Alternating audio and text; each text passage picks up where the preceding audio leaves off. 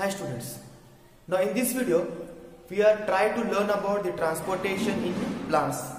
So in the previous video we know that the plants are categorized under the autotrophs and they prepare their own food right with help of the photosynthesis. Now we also will learn about that the plants require the raw materials that is carbon dioxide, water and minerals. So we know the carbon dioxide from the atmosphere is absorbed by the stomata, right? And then we require water and minerals which we get from the soil, right? So transportation involves in the plants involves the two processes. One is transportation of carbon dioxide and the one is the transportation of water and minerals into the body right after the photosynthesis takes place the food is prepared in the leaf then that food is used as a energy and transport to the every part of the body of the plant so we as we understand here there is a involvement of the transportation system in plants also right the transportation of carbon dioxide carbon dioxide required so we uh, want we try to uh, transport the water carbon dioxide to the plant so for the photosynthesis, waters and minerals are involved. So transportation of water and minerals are very important. Without the these carbon dioxide, water and minerals, the photosynthesis not taken place. So this involves the transportation of these three substances. One is the uh, carbon dioxide, one is water and the minerals involved. Okay, and that after photosynthesis, we observe that the food is prepared and that food also be transported to the every parts of the body. Right this is the transportation system in the plants right so i write the points here so first point the plant transportation involves in the transport of water and the food right? The transport of water plus minerals and the food is prepared after the photosynthesis. So all these are involvement of the transportation right? So we know that the uh, water present in the soil and the minerals present in the soil and they are transport to reach to the leaf. When these are reached to the leaf then only photosynthesis takes place. So from the root to the leaf is a transportation system is there, right? Then again second point, uh, as we have plants prepare food with the help of photosynthesis by using the raw materials carbon dioxide, atmospheric carbon dioxide and water plus minerals from the soil. So as we know, the plant for photosynthesis require the many raw materials that is carbon dioxide, water and the minerals. And these all are present in the, the carbon dioxide present in the atmosphere that are transported by the uh, stomata and the water and the minerals which are present in the soil. And that can be transported by the one important part that from the roots. So that involves the transportation right? Next the soil is the nearest source of minerals like nitrogen phosphorus and many materials many minerals right? So we know that uh, for the trans source right for the plant uh, the nearest source of the easiest source of because the plants require dissolved form minerals so it is be dissolved in the water and the main and the nearest source of the minerals like phosphorus and nitrogen for plants is nothing but water the soil. Next point the absorption of the water plus minerals right? As we know now the water and the minerals are present in the soil and that can be absorbed by the plants and reach that minerals and water to the leaf for the photosynthesis. So absorption of that soil and the minerals that is nitrogen phosphorus is done by the very important part that is what roots right? And there are two types of roots here. One is fibrous root and one is a tap root. We are studying the standard right? That roots are involved in there is function of root is there First, the roots are give the grip for the upholding of the tree, right? That is one. But another very important working function here, that is very important function of the roots are absorption of the water and the minerals because the soil is the nearest source and when the soil sorry when the root absorb the water and the minerals from the soil they transport to the leaf through the water through the with help of stems through the vessels so that is roots are are very nearest source of nearest uh, contact with the soil that is roots are direct contact with the soil and from the soil they absorb water and minerals. So that is what root. Next if see there are two types of plants that we categorize. Sometimes you observe small plants and some you observe the big trees right so the small tree nothing but water the root and the distance between leaf are very small right the distance between root and uh, roots and the leaf is very small, then we call that, that as a small plants. So in the small plants, the diffusion process is easily taken place, right? Higher concentration to the lower concentration. In the soil, the concentration of uh, minerals and water is more and inside the plant it is less. So what happened? From soil to soil from soil to root and root to the plant the absorption taken place. Higher concentration lower concentration that is in the small plants. So in the small plants the transportation system is done by the simple one diffusion process that is diffusion process right? One point to remember here in the small plants where the distance between roots and the leaf is very short very less. In that in such condition the simply transportation system is involves the diffusion process. Higher concentration the lower concentration. When you come across the very big trees for example coconut tree we observe that the root and the, the distance between root and the leaf is very large very very large right? It is double building. It is size it is large than the building size right? Observe very very large. And we observe many plants trees banyan trees right? Mango tree coconut tree and other fruits tree, observe the distance between root and the, the leaves are very very large. In that condition, if the distance between root and leaf is very large, a simple diffusion process will not be sufficient for it, right? It is be very late. For that, a proper transportation systems are involved, a proper vessels are involved as we studied in the ninth standard xylem tissue and the phloem tissue right it is involved it is present in the large plant and a proper system is required right so in the large plant the diffusion property is not sufficient. In that condition in such a condition proper transport systems is required that we are studying in the next part. That is the proper system which is present in large plants when the distance between root and leaf is very large. So in such plant we use the very uh, important transportation system and that is nothing but transportation system of water and the transport system of food right? So water involves in the xylem tissue and where the vessels and tracheas are present, right? Vessels present. So that is what in the large plants, so we study that one. And then transportation of food that is involves the tissue, phloem tissue, right? Phloem tissue that is the vessels, sieve tubes, companion cells are present. So that is proper systems are there when when the distance between the root and the uh, leaf is very large one point when the plant is very large that is the another point so in that condition when the tree size is very very large now the right when tree size is very very large, the distance between roots and leaf is very very large and that condition diffusion process is not sufficient, not matched. In that condition we use the proper system and that systems are two types. One is what transport of water through the xylem tissue and one is transport of food from the phloem tissue. So now let's try to learn these two transportation system in plant students. Okay. So please note down all these points first initially. Okay students, now take the first transportation in plants is that is transport of water. Right? So as I discussed in the earlier that there is involvement of the xylem tissue for the transportation of water. So now uh, come to these points which are right on the board and to understand the what actually taken place in the plants. Right? As we know in the plants the water is pushed upward opposite to the gravity how it is possible. As we know that due to gravity the water should be attracted toward the toward the soil. But as we know that in the plants the that is upward movement of the water upward movement of the minerals which is upward movement which is opposite to the gravity. Means what? There is a some force are there which are greater than the gravity. That is what called upward force so how that upward force is created in the plants that also studied here. And that upward force help in the movement of the water right? So come to one by one there are two upward forces are there. So study one by one right? So as we know that the transportation of water involved in the transportation of not only water plus minerals right? Which is done by the root part right? Which is near source of uh, near source of water minerals is root soil and the, from the soil the root is contact. So root absorb the uh, nothing but water minerals and water. So here the xylem tissue right? The xylem tissue is xylem tissue which is composed of so many vessels and tracheas right? So xylem tissue is composed of two tissue cells two shells one is vessel and one is tracheas right? These are combined together form the xylem tissue.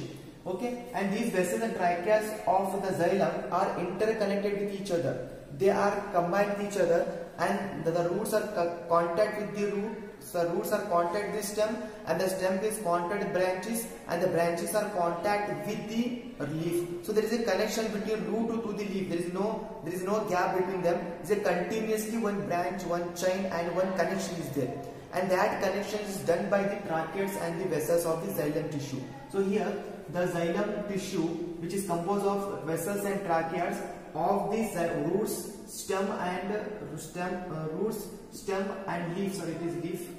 It is a leaf interconnected to form a continuous system of water connecting channel. Right? There is a no gap from root to the leaf. Either connection is there, continuous connection is there which help in the that connection is help in the that connection which is made by the xylem tissue the xylem tissue tissue make the one connection make the bridge with help of vessels and tracheids and that bridge is continuous. There is no break between them. Continuous bridge which connect the root to the stem and stem to the root, root uh, leaf and that continuous chain continuous channel is involved in transportation of uh, water okay reach to all transportation of water and reach all parts of the plant okay that reach all parts of the plant. So that is connection and at the root the shells in the contact with the soil actively taken up the ions we know that we take the whole part of the plant leaf also require water stem also require water and branch also require water but the main part which take the water to all other parts is done by the roots. Why? Because of the roots are directly contact with the soil. So roots are the part through which, so root having some uh, cells and that cells are contact the soil and that take taken the ions that is water, minerals, nitrogen, phosphorus and other minerals that is taken by the roots, taken up by the roots. This create a difference in the concentration of uh, the concentration of ions between the roots and the soil. See, this is a very important, right? Soil are having water and the minerals and root is not having that soil and the minerals. There is difference between them, right? We know that it is the soil and there is the root.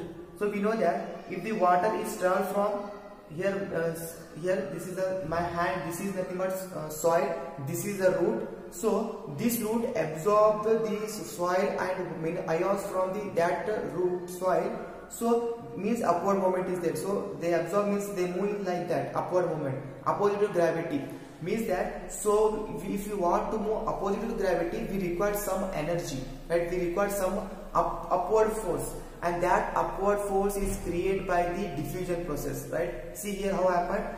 The soil having rich source of the soil is the rich source of minerals and water and the roots roots of the cells having not that okay? There is concentration difference high concentration of water in the root uh, in the soil and in the water is a, in the root is a less concentration. So there is concentration difference between the soil and the roots and that create a one force.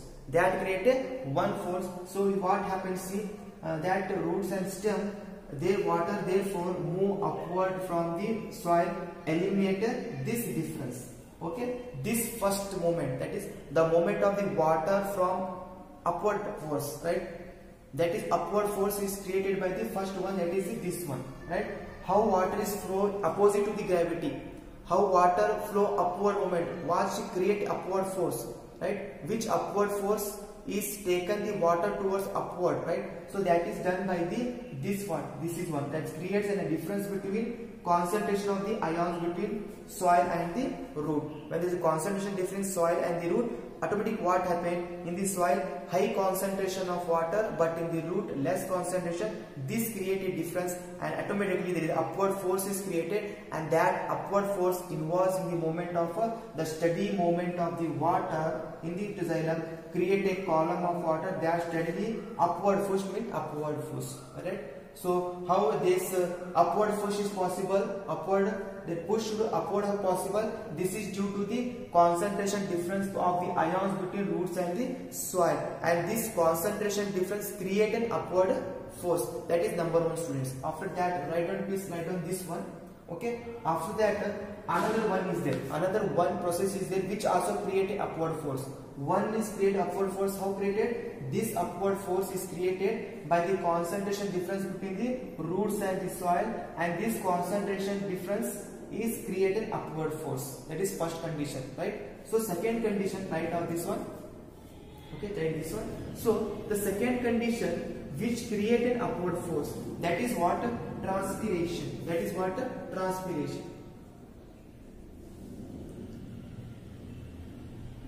transpiration. What is mean by transpiration? Transpiration nothing but the loss of the axis of water is okay? When the water absorbed by the plant right? So water present in the plant side. So this make uh, the less concentration of the water inside the plant then the loss of water taken place right? So that is important. Transpiration uh, is a process. It is a process of process of loss of water loss of the loss of water loss of excess of water loss of excess of water from aerial parts of the plant aerial parts of the plant plants parts of plants. This is called this is called transpiration. This is called transpiration and that help in the that helps in the helps in the creation of upward upward uh, push uh, upward force. Upward force. Upward force for the movement of the water. There are two uh, methods which are create an upward force. One upward force is done by the concentration difference between of the ions between roots and soil. That is one point. Okay so again i repeated. The column, the creating a column of water which steadily upward push, this is done by the two process.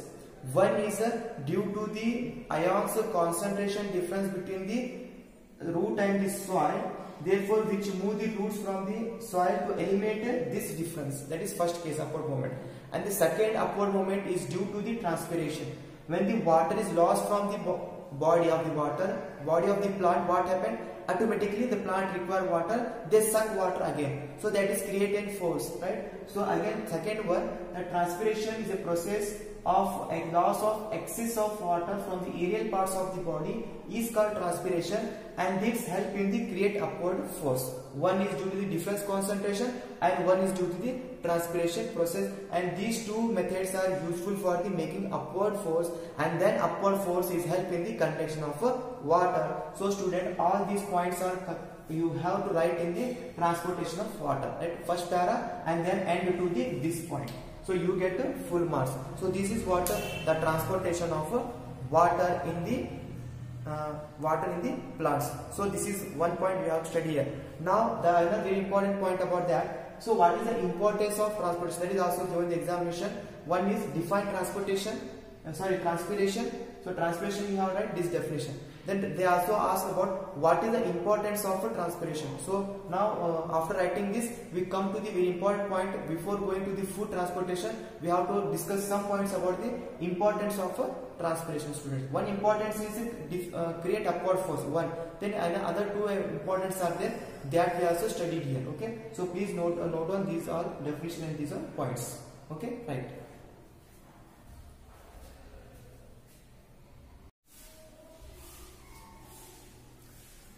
Now students, take the last point about the transportation of plants.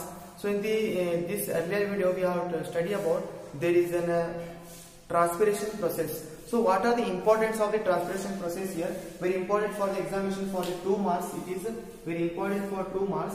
So what is the importance of transpiration? So as we know the for number 1 the transpiration helps in the absorption and upward movement of the water and the minerals right upward movement pushing movement is created. That is created by the loss of water that is absorption of uh, that is transpiration transpiration. So transpiration involves in the upward movement and that upward movement helps in the absorption. So that is very important. For first one it is helping the absorption and upward movement of the water and minerals. Second one helps the temperature regula regulation, right? The maintenance of the temperature of the plant. That is also important in the uh, transpiration process. Due to continuous loss of the water is make the regulation of the temperature. Then during the day when the stomata open, we know about the open and closed stomata. When stomata open means the water flow inside. Okay, so stomata open, the water transpiration pull becomes the major driving force in the movement of the water in the xylem. During the during the daytime, right when stomata is open and that condition when stomata is open, loss of water is maximum, and the loss of water is maximum means what happened? The suction force is more.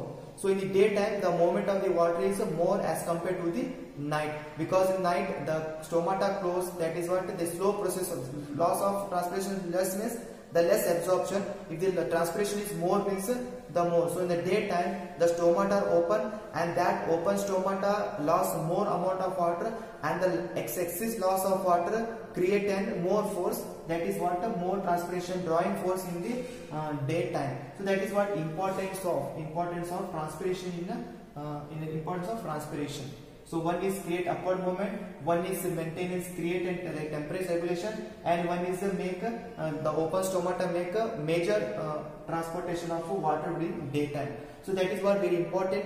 Three points about the transportation, transpiration importance. Okay. So here we complete the xylem, uh, that is transportation of water through xylem, and we learn about how the xylems create a network and transfer the water means all parts of the body.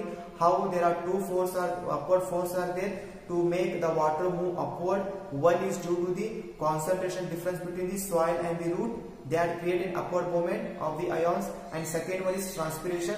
Loss of water from the stomata also create an upward movement and these two upward movements are helping the movement of the water and they are helping the photosynthesis process right? So that is what the movement of the water and the minerals in the plant students. Now come to the very important other point that is movement of the food that is we call it translocation. The movement of the food in the plants with help of the tissue that is the xylem so please note down this point and come to the another very important point that is transportation of food. Now take the another important point that is transportation of food and the other substances. So after water we come to the food. So here as we earlier discussed about that food transportation and in the ninth class also we studied that food transportation plants involved in the vascular tissue that is what phloem right. So here phloem tissue is, is a food conducting tissue help in the transport of soluble products of photosynthesis is called translocation that is very important what is translocation? Transpiration is a water related and the translocation is a food related. Okay. The soluble product transportation is nothing but what translocation. The transporting of food and other substance is nothing but what translocation in the plants and it occurs in the part called vascular tissue called phloem and that is done by the vascular tissue called phloem. Okay. One point. The second point, the translocation of the food and other substances that takes place in these sieve tubes that is what they made up of sieve tubes and companion shell adjacent companion shells is composed of so phloem tissue is composed of sieve tubes and the companion shells so both together are make the upward movement and the lower movement of the food right? We know that uh, the plants there is only upward movement. In the plant they note not lower movement. In the plant the water will move only upward movement due to the concentration difference and due to the transpiration but when phloem, we come to the phloem, the phloem is both direction. Phloem, the food transport downward direction also and the food transferred upward direction also because of the food prepared in the leaves and the all parts are required, uh, root also required food and all parts are required food means there is upward movement of the foot also and lower movement of the foot also takes place okay? There is two dash of foot is two types. So in the phloem the translocation of the foot and the other substances are takes place in the sieve tubes with help of the adjacent, uh, uh, adjacent companion shells upward and downward direction both directions. Now upward directions of water is done by the two energy. One is concentration difference one is transpiration. Now here food also require energy for the movement right? Food prepare and food transportation from all parts of the body right? To all parts of the body also require energy. And that the transportation of food from every part of the body is required energy and that energy they get by the ATP in the form of ATP adenosine triphosphate okay? So energy is used for the transportation of food in the upward direction and the lower directions right? The food is prepared. Now food is transported to the every part of the body upward and lower. That transportation require the energy need energy and that energy the plant is used by using the ATP currency adenosine triphosphate. So by using ATP the water can move sorry the food can move upward and downward direction that is very important which energy used for the upward and lower movement of the food means it is ATP. In the in the tra water transpiration, it is a concentration difference and transpiration create an upward force, right? Their process. But in here, upward and downward force created by this ATP, right? The upward movement is with help of ATP and the lower movement with help of the ATP. So this is what about the transportation of food that is what translocation. So students in this video we have studied about the transportation in plants. One is the transportation of water and the one is transportation of food. Hope you understand these two processes very important as point of examination. Transportation of water for 2 marks, uh, definition of transpiration definition 1 marks and uh, what is importance of transpiration 2 marks and the in, uh, transpiration of food and other substances for 2 marks and the defined translocation is for uh, what it is for 1 mark definition okay? So please again watch this video and hope you understand all two concepts. One is xylem and one is phloem right? So please note down these all points and recall it one time. It is very important as part of examinations okay? So thank you for watching this video